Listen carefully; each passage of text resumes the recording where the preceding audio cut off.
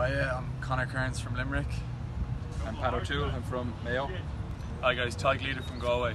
Um, San Diego Legion have a massive game on June 17th versus Austin here in San Diego, so we really appreciate you guys come out and support the team. Um, you're three Irish guys now, so we'd uh, love to see you all down at the game and shake your hands afterwards.